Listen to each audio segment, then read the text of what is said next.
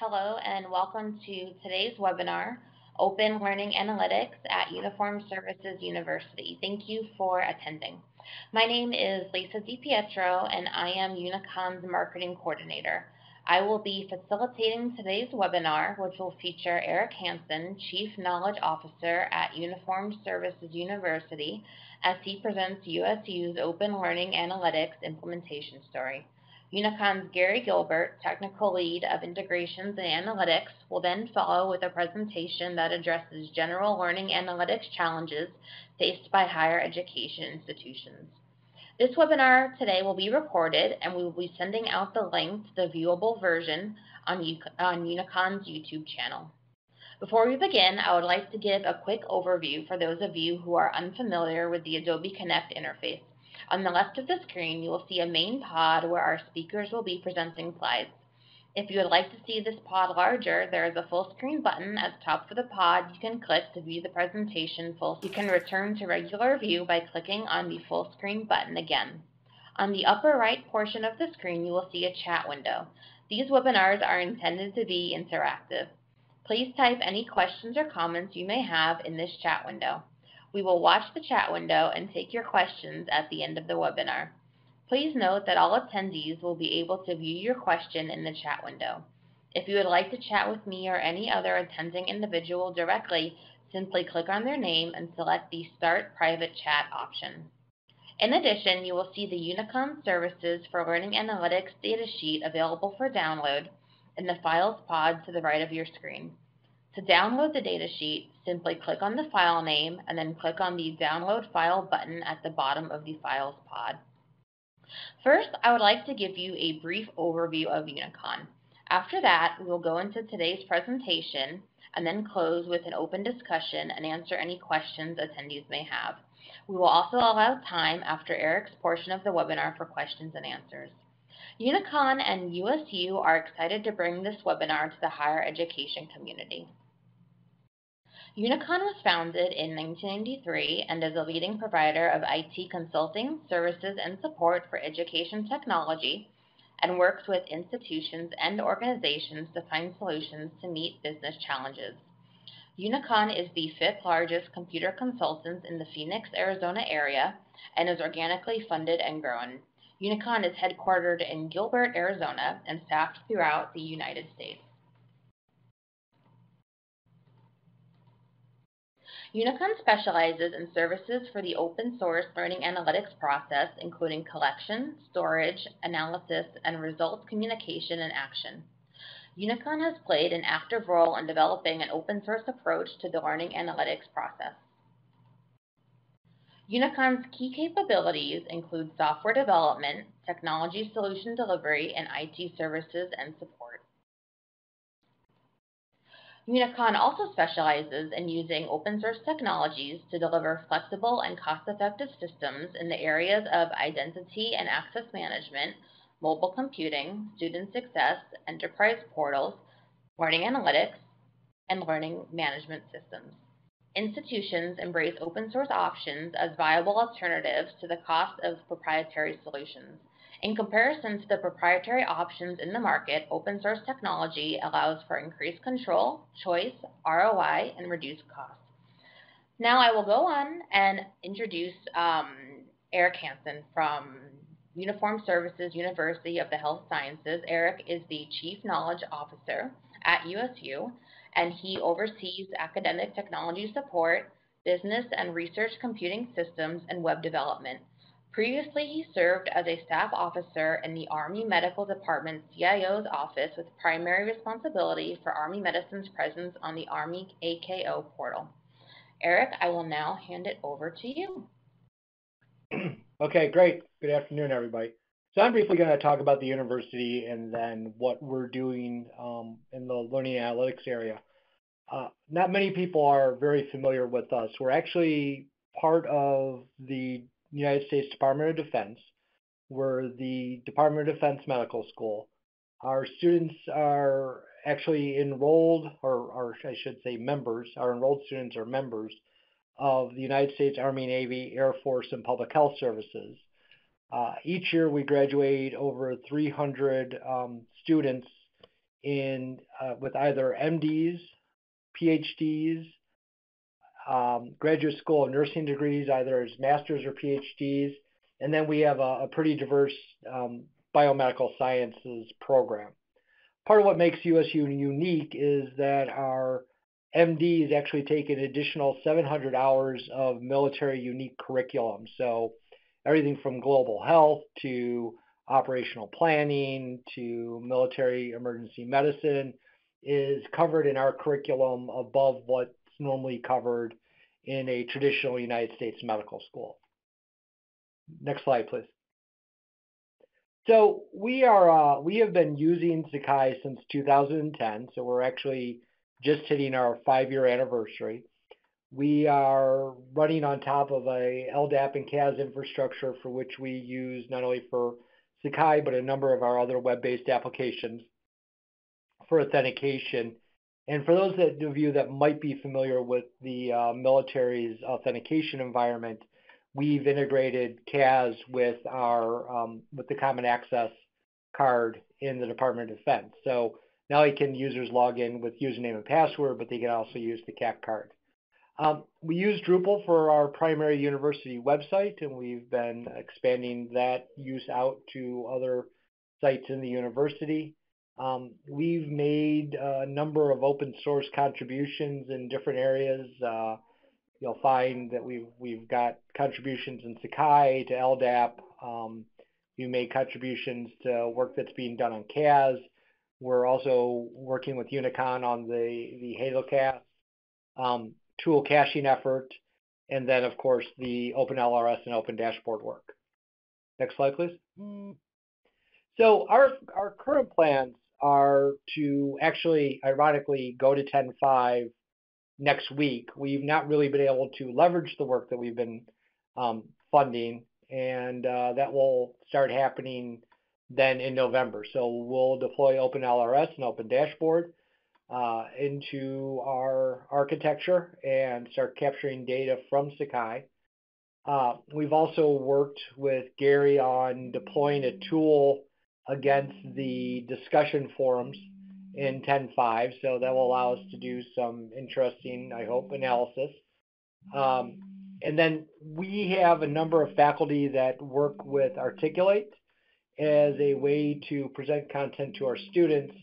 So we're going to start working on some open dashboard um, cards to allow faculty members to look at student data coming out of Articulate in Sakai and then see how students are responding to um, the educational material.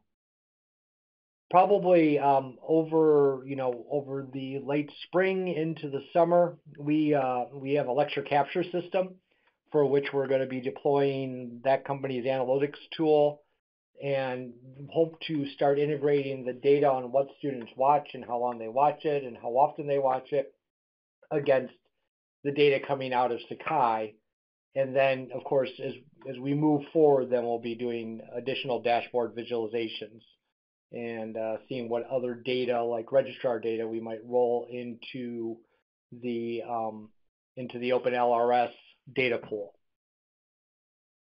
So that that's kind of where we are right now. I, I guess the reality is, is is we've been waiting in anticipation of getting this up and running, and so moving to 10.5. Um, Next week's going to be a big event for us. We actually have almost no time where somebody isn't being taught at the university. So our students are off at military exercises starting next week. So I get um, only one third of our, our our overall student cohort is here next week. So um, I don't suffer as many flings and arrows um, from people that need access to Sakai when I take it down when everybody else is gone. And that's my part, and I welcome any other any questions. We will give attendees a minute to um, type in any questions if they have any. Doesn't look like we do. So um, next we are going to move on to um, Gary Gilbert's portion of the webinar. Um, I would like to introduce Gary. Um, like I mentioned earlier, Gary is the technical lead for integrations and analytics at Unicon.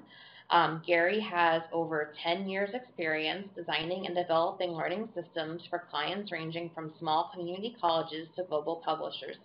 Gary is an active member of the Apereo Learning Analytics Initiative. He is particularly interested in the intersection of open learning technology standards and open educational resources. All right, and with that, Gary, I will hand it over to you. Thanks, Lisa, and uh, and, and thanks to uh, to Eric for taking the time to join us today. Uh, and and good luck with your uh, Sakai deployment next week. Um, so a, a, little bit of an agenda first. I'm going to talk about um, open learning analytics. You know what that means. Uh, some of the different components of an open learning analytics environment. I'll talk about the realization uh, of an open learning analytics environment through the Apereo Learning Analytics Initiative. Then I'll give a demo of some of those components, and then we'll talk about uh, kind of future roadmap. So if we talk about open learning analytics, um, you know, really what are we what are we trying to get to there? What's the overall overall goal of learning analytics and you know in particular open learning analytics?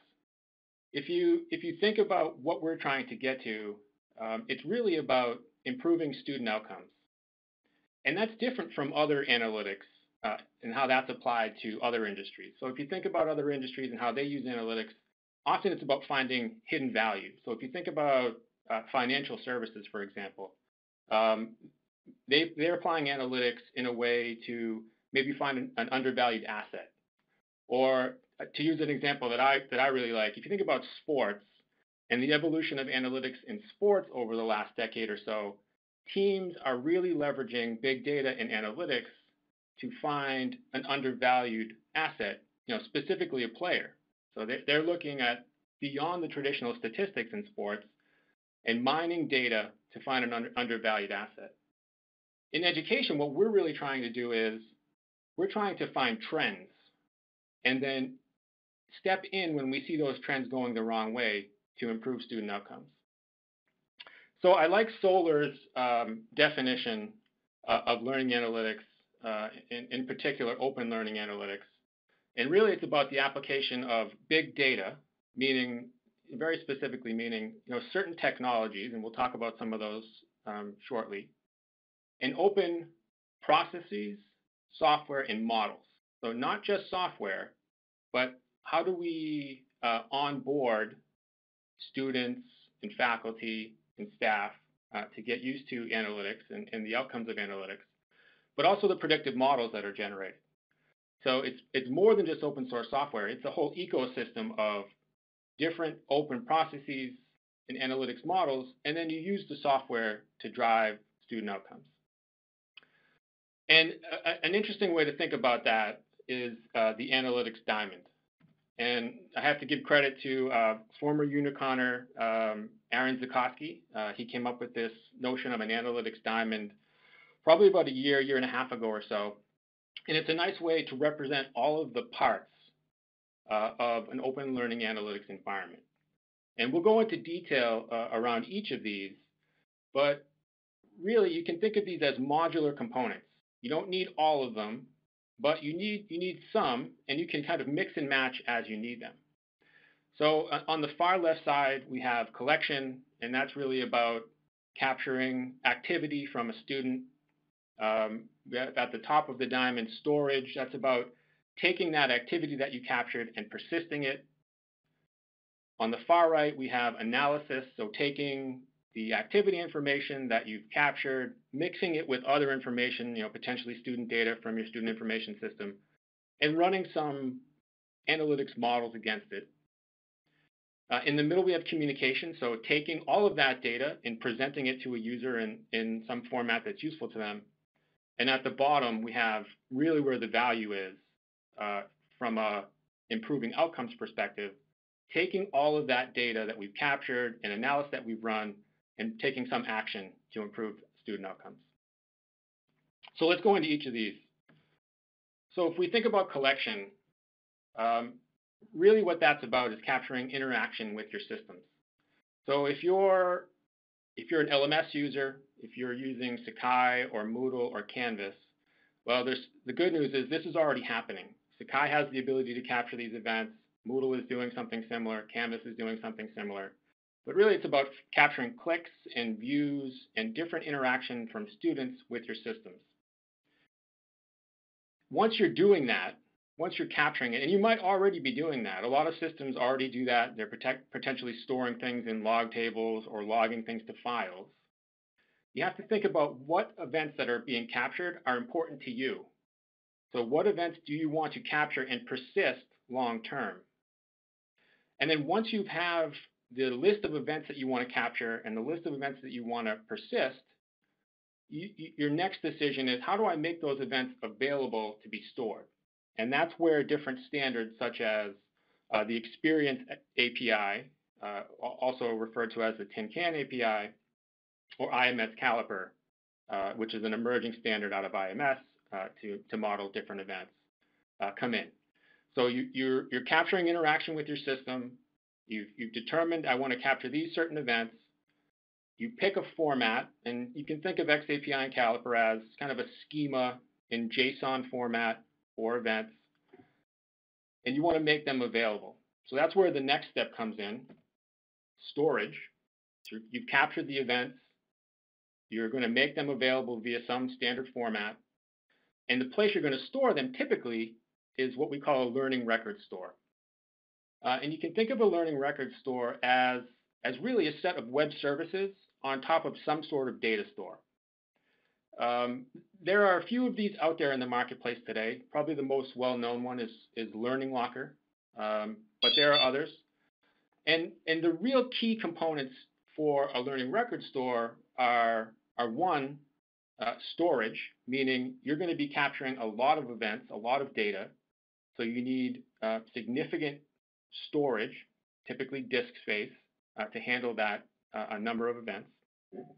The message format, so do you want to just support XAPI format? Do you want to support just Caliper format? Or do you want to support both of those formats plus you know, something else? Um, as with all things in the analytics, learning analytics world, data security is extremely important. And specifically in the case of storage, we mean not only data in transit, so as it's collected and then messaged to the storage, to the learning record store, but also what we call data at rest, so data in the storage solution, making sure that that's protected. And then what we've seen is typically the event information is valuable, and historically, learning record stores have only been used to capture and store events. But often in an analytics uh, environment, you need you know, significantly more data types. So you need events, but you also need user information and demographic information and grades and other things. So what we're, what we're starting to see is an evolution toward a learning record store, but it, it maintains more than events. It's really becoming a learning record warehouse where, yes, it has event data, but it also has uh, grade data. It also has potentially student and demographic data and other, other important things that are part of your analytics model. So you're collecting events, you're storing them in a learning record store, potentially with some other information. Now it's time to run some analysis uh, on those. And the way that you typically do that in an open learning analytics environment is with an application that, that's typically referred to as a learning analytics processor. And you can think of a learning analytics processor as really just a manager of that entire workflow. And the workflow is often referred to as a pipeline. And you can think about a pipeline just the way that you would think about a gas or an oil pipeline. Things go into it and things come out of it. And in our case, we have inputs, which are that data that's in that learning record store, maybe data coming out of your student information system, maybe data coming out of your LMS. Those are all your inputs, and they're coming in in a variety of different formats and different ways and it's part of the learning analytics processor's job to normalize that data and make it available for processing, which is the next step in the pipeline. You've taken your inputs, you've, you've normalized them in some form uh, so that they're available to process, and you run your analytics model. That's the processing step. And maybe that's a, just a very simple aggregator of data. You just want to know how many events happened, how many of, of, a certain type of events happened, or it's something more complex like a predictive model um, that is finding at-risk students. So you, you have the inputs, you're running the model, and that model is outputting something. And, and typically what it's outputting is a smaller subset of that data. And you're, you're probably storing that. So you have your input, it gets processed, the output gets stored in a persistent store, and then you make that available via some APIs. So that's your kind of typical learning analytics pipeline. So you have, you've collected the data, you've stored it, you run analysis on it, you've, you've determined some useful insights, and now it's time to take action on those insights. So that's the next step in the diamond. And when we say action, it could, it could mean really anything, right? It could be um, you run a report, you generate a notification, um, but but often what we've what we've seen is that it's about intervention. So we've we've captured a bunch of information, we've run analysis of that, and we've determined that these particular students are at risk, and we need to take some action to get them back on track. And there are different types of, of intervention. You, you could strive to you know, improve retention. Um, you could strive to improve performance uh, in, in, different in, in other different metrics. Uh, but really, it's really about getting that early alert from analysis and then taking action on it. And then the last piece is the communication piece. So we've we collected data, we've stored it, we've run analysis on it, taken some action on that data. And now, in addition to taking action, we want to make it available uh, to the appropriate user in the appropriate way so that they can gain their own insights on it. And there's a number of mechanisms to do this. There's, you know, there's no shortage of, of dashboard options out there. Um, and dashboards are typically the way that this data is presented. And often, those dashboards contain, you know, a number of different visualizations of the data that makes it really easy to see trends and spot outliers um, so that potentially faculty or staff, in addition to your kind of automated action steps, can take their own actions on some of this data. And we'll, we'll show an example of that uh, during the demo. So, so those are really the components at, at a high level of an open learning analytics environment. And the Apereo Learning Analytics Initiative is trying to uh, make those components um, available as open source software projects. So Unicon is part of that, uh, along with uh, with USU, uh, um, Marist, uh, University of Amsterdam, and, and some other partners. Uh, and, we're, and we're moving that forward. So over the next slides, I'll be talking about each of the components and how they map back to the, the Learning Analytics Diamond component. So here's a picture of uh, the different components within uh, the Apereo Learning Analytics Initiative, and you can see that they model the diamond pretty well. On the far left side, we have um, the LMS, uh, and, and, in that case, we have some different tools if you're using Sakai, or modules if you're using Moodle, uh, and some other kind of plugins that will plug into the LMS to start to capture that event data. We have an open source uh, learning record store uh, called OpenLRS. We have an open source learning analytics processor, which is aptly named today the Learning Analytics Processor. But uh, if anybody has suggestions on names, um, we're open because that's something we're interested in doing is, is renaming that. Uh, at the bottom, we have Student Success Plan, which is a, a, project that has been around for a while, but is getting uh, really getting some new life uh, as part of um, the Learning Analytics Initiative. And in the middle, we have Open Dashboard, which is a really a learning-focused uh, dashboard framework. And I'm going to go into each of these uh, in detail. And let's start with OpenLRS. So OpenLRS uh, is a web application. Uh, it's written in Java and uh, uses the Spring Boot framework. Uh, it supports a number of different data sources. So if you're interested in using Elasticsearch, you can use that. If you want to use MongoDB, you can use that. And if you want to use something else, there's the opportunity to build that in as well. And today, OpenLRS supports uh, the Experience API, uh, but hopefully very soon uh, we'll have support for the uh, caliper specification as well. And really the goal of OpenLRS is to provide a very, very high scale and performant application that can capture events from a number of different sources. And I think we've done a pretty good job with that so far. The, uh, the next piece of the diamond uh, in, in, terms of the Apereo Learning Analytics Initiative is the uh, Learning Analytics Processor. And, and you can think of the Learning Analytics Processor as, as a framework uh, for the execution of those pipelines that I mentioned. So the, the Analytics Processor today can take data in. It can take data in in some different formats, typically a CSV file. It can run a, model against that data, output it uh, to, a, to a database, um, typically MongoDB, but some other data sources as well. And then it makes that available via an API. So it fulfills that notion of a pipeline, taking inputs, doing processing, returning outputs, and then making that available as an API.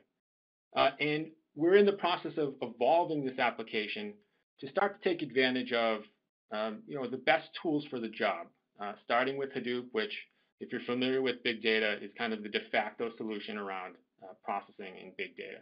So we're working on support for Hadoop and the Learning Analytics Processor. And once we have that in place, we'll really be able to scale it up uh, to, uh, to the point where it's necessary. The next piece um, in the Apereo Learning Analytics Initiative Diamond uh, is the action piece or Student Success Plan. So Student Success Plan uh, is an open source uh, case management system so you can think of that as um, really kind of an advisor-facing application. And the real value of Student Success Plan um, in, in, this context is that it integrates with the Learning Analytics Processor. And so I'm going to show you a demo of that shortly. But the idea is that as the analytics processor runs and at-risk students are uh, found, we'll automatically create an early alert in the Student Success Plan. And then the final component uh, is Open Dashboard. And Open Dashboard is a framework uh, for displaying visualizations in data views that we call cards. And so you can think of a card as really its own self-contained uh, small application. And the dashboard is really the framework that provides data and infrastructure to those cards. And it's a very, very client-heavy application. So it uses AngularJS and the Spring Boot framework. And the goal here is not necessarily to develop kind of out-of-the-box dashboards, although we certainly have a plan to uh, create a, a, library of kind of standard visualizations, but give institutions and uh, developers the opportunity to have a framework where all that plumbing is in place, and they can easily build their own visualizations of the data they have available. So I'm going to uh, switch over uh, momentarily and, and, go through the demo. So we're going to start the demo in Student Success Plan. I'm going to sign in as a, as a coach or um, you know, a coach in uh, Student Success Plan speak is, is really, you can think of it as an academic advisor.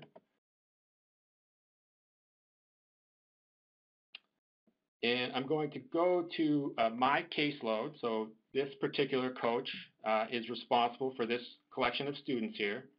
And I'm going to click on this student, Skylar Hunting, and I'm going to look at her early alerts.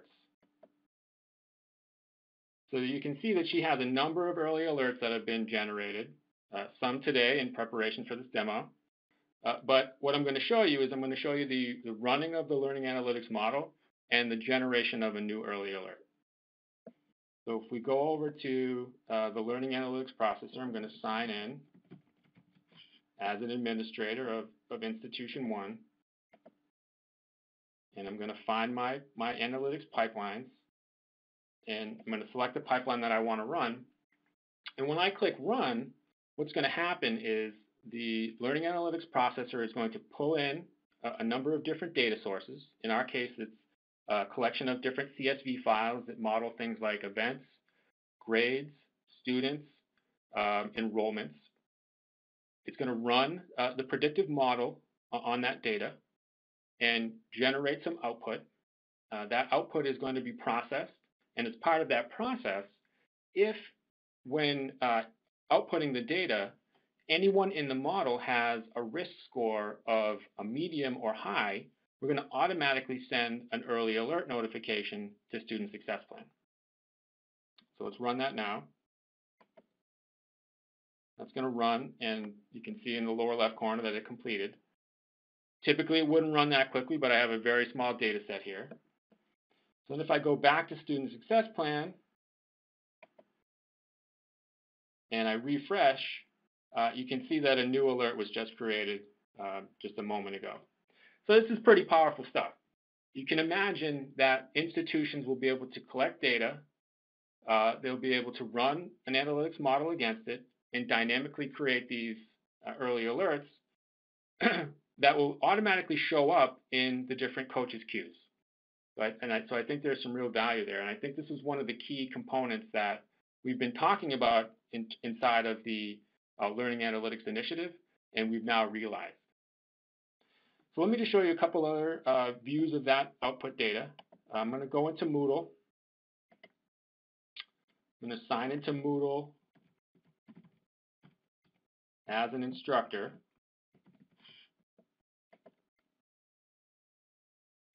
And I'm going to go to my course.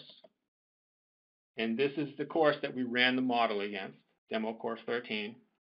And when I click on this dashboard AWS link, it's going to do an IMS uh, Learning Tool Interoperability Tool Launch, an LTI tool launch, from Moodle over to Open Dashboard, which is running out in, uh, in Amazon uh, Web Services on EC2. And it's going to display a visualization, actually two visualizations of the model output data. So let's do that. So I did the LTI launch out. Um, the dashboard is rendered in the iframe here. The, the dashboard, when it received this LTI launch, said, okay, I got an LTI launch from demo course 13. Let me make a web service call to the Learning Analytics Processor to get the a model output for course 13. And let me call back to Moodle to get the roster uh, for that course. So it got the roster and it got the uh, model output and matched it up to the student. So that's one view of the model output that you know potentially an instructor could look at and say, okay, it looks like Skylar needs some help.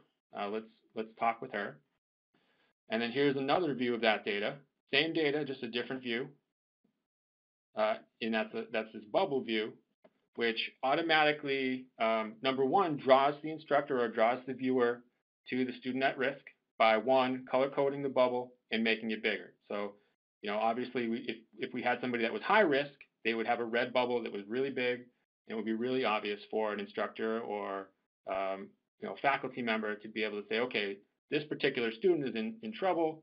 Um, let's let's do something to uh, to stop this um, and get them back on track. So with that, I'm going to go back to the slides.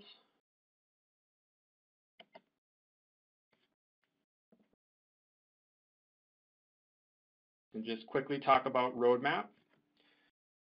So um, if you've if you've seen one of our presentations recently uh, and seen our demos before, um, you know I, I, think it's obvious we've made some really good progress uh, on these different components and and we're hoping to make more, uh, and, and I think we're going to. I mean, we, all of these things are in certain states of uh, in progress, and that's a good sign. So on OpenLRS, uh, the kind of top level roadmap item uh, is support for the IMS caliper specification. This work has been started uh, and, and, then unfortunately had to stop, uh, but I expect hopefully next week for this to get going again and, um, and, and, get some support for caliper different metric profiles into OpenLRS uh, you know, sooner than later.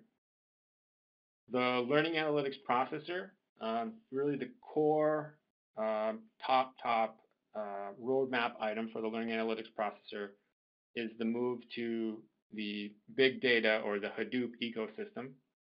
Um, functionally, the processor is going to remain you know, generally the same, but we're constrained today uh, by the amount of data that we can process in one pipeline.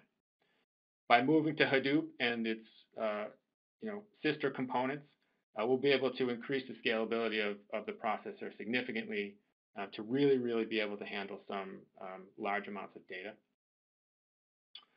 For a student success plan, uh, we want to continue to automate the creation of early alerts. Uh, so you saw the beginnings of that in the demo.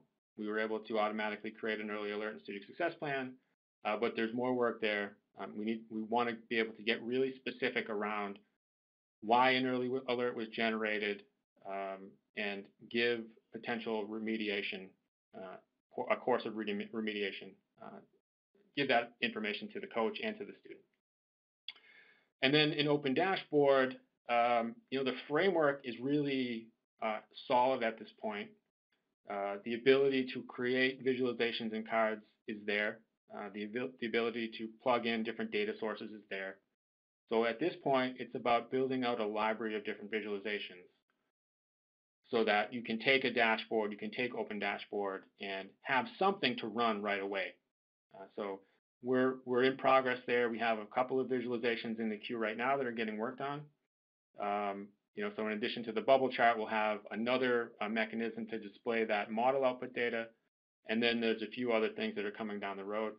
Um, so I think we're going to get there. Uh, if you check back with us early next year, uh, I think there'll be a number of visualizations ready to go in the dashboard. And with that, I'm going to turn it back over to, uh, to Lisa for questions. Okay, and it doesn't look like we have any questions. So um, once again, I'd like to thank both of our speakers and thank everyone for taking the time out of their day to join us today. Um, we hope you found today's webinar informational. Um, if you'd like to reach out to us, please visit um, our website at www.unicon.net. Thank you very much and have a wonderful afternoon. Bye-bye.